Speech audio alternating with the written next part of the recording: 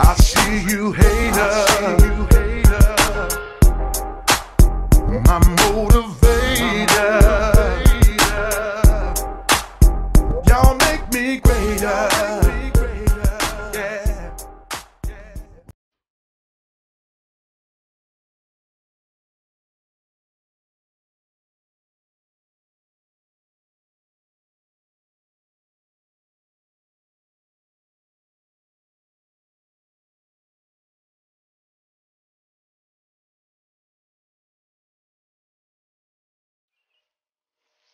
Since we're taking care of painting all the miscellaneous pieces, such as the handles and the side skirts and the deck lid and the T-top piece and some more in the mirrors, our next step is taking care of the jambs on the car. So what I'm gonna do, I'm gonna take these doors off and I'm gonna take the uh, hood off and I'm gonna take that in the booth and paint that. Then once I get through painting them, I pull the car in the booth and paint the jambs on the car. So let me go ahead and take these doors and hood off. Then I cut you back on.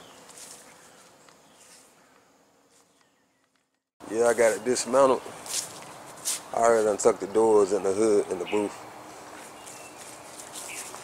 Now I can get paint where I need to get it at now without having no problems.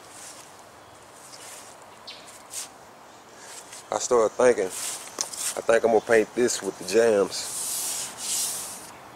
Then I ain't gotta worry about painting when I paint the car. I'm gonna paint all this plus the T-top to back here. Then when I paint the car, I just mask it off.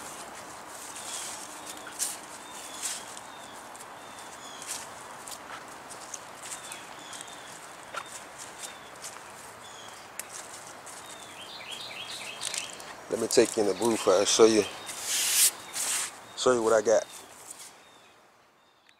This is what I got here. Once I took the doors and the hood off the car, I had washed it up with some soap and water to get rid of the dirt and grime that was on it. Especially these doors because they was caked up with dirt where the hinges was. That's one reason why I took them off because I couldn't clean them up good and I couldn't paint them good with all that dirt on them. So I did that. I also seen some imperfections when I took them off that I didn't see when they was on the car. I had wiped this with two part these little pinholes. I just put some some of this here on it.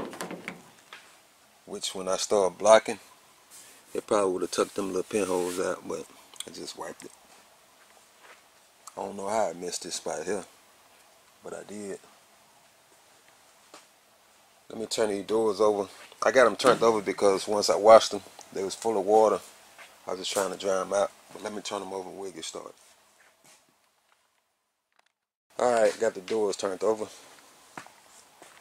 I had wiped it down some more because I seen some dust on some of the spots that I didn't get when I was outside. Just want to clean them up real good before you start sanding them. But I had sanded these doors on the car when I had did the body work, but I'm gonna hit it again on some of the spots that I probably missed.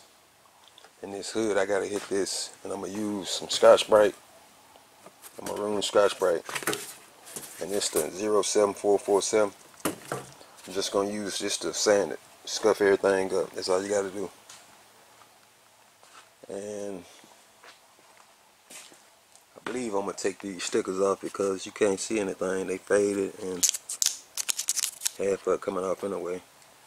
I'm just gonna use a heat gun, get them off.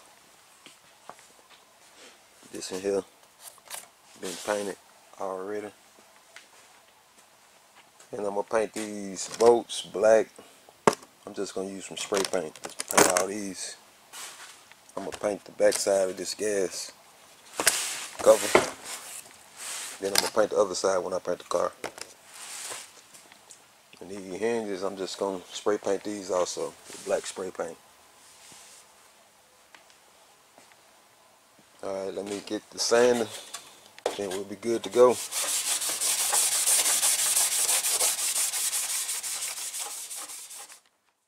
I heated up with the heat gun and got most of it off. But I got the outer layer off. I just got to get this adhesive up. And I'm just going to use some wax and grease remover on the rag. Wipe it. It should come right up.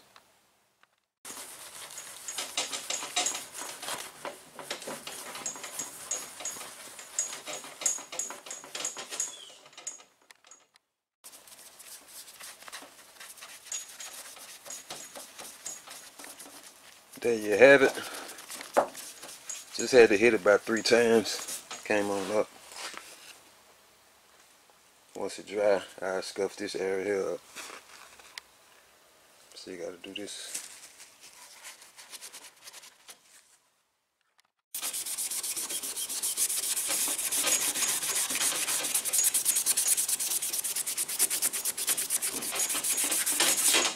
That's all you gotta do. Just scuff it up so the painter has something to bond to.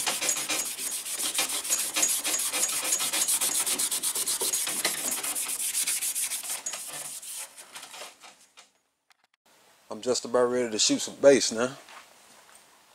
I've been masking everything off. I put some soft edge tape right here because I got to spray these hinges here. And I'm going to be spraying at an angle. And I ain't want to get no paint on the primer, which I'm going to sand it anyway. But I just want to make my job a lot easier when I start sanding it. Got this mask off because I'm going to spray this flat black the mask. The glass still in the door, so I had to mask it off. I would have took it out, but it was a lot easier masking it off. Also, got these bumpers masked off because the screw, it was stripped out. I couldn't get them off.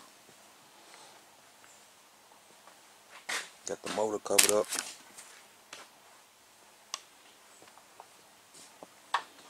Tuck the latch off. I'm to paint it probably flat black too. When I paint the hinges I gotta put this over here somewhere. Probably put it right here. Paint it when I paint the door. And when I start shooting the clear I'm gonna flow coat the flow coat these mirrors. Got them sanded down. I just sanded them down with 400 because I don't plan on wet sanding these so gonna try to get it flat as I can and glossy as I can. So let me finish on up. I gotta wipe everything down with some wax and grease remover. Then I think I'll be good to go. I'm mixing up the base now. I still gotta put the reduce in it. I put 14 ounces of material so it mixes two to one.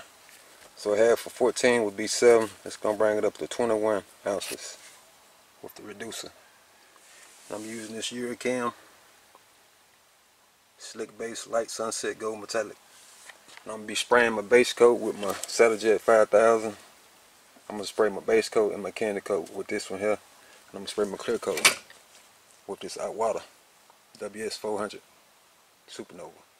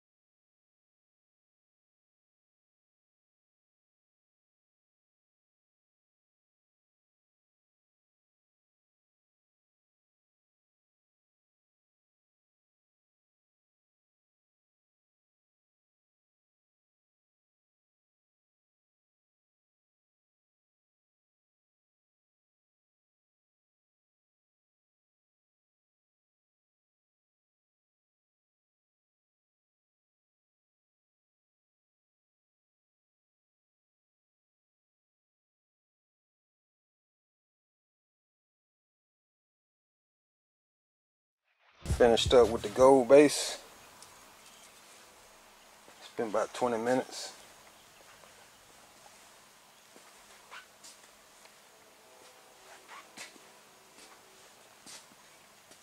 It's a run on both doors. It's not for me. It was already here from the previous painter. I didn't worry about getting it out because it's at the bottom of the door. You ain't gonna be able to see it. Let me show you the other one.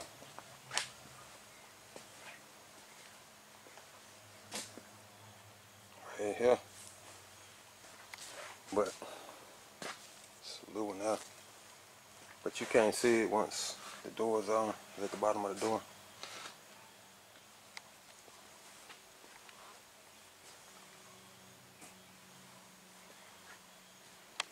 I got my mirrors wrapped up in a bag so no overspray won't get on them till I spray the clear.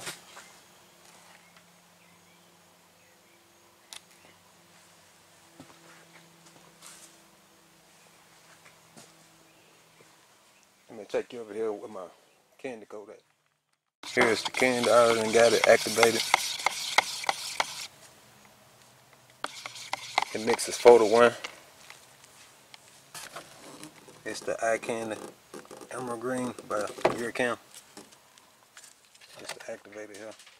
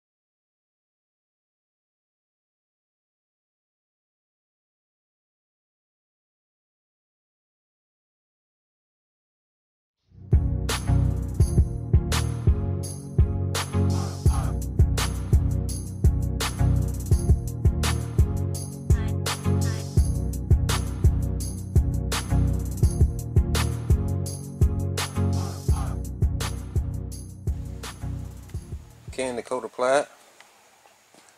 Looks like it been cleared, but it hasn't.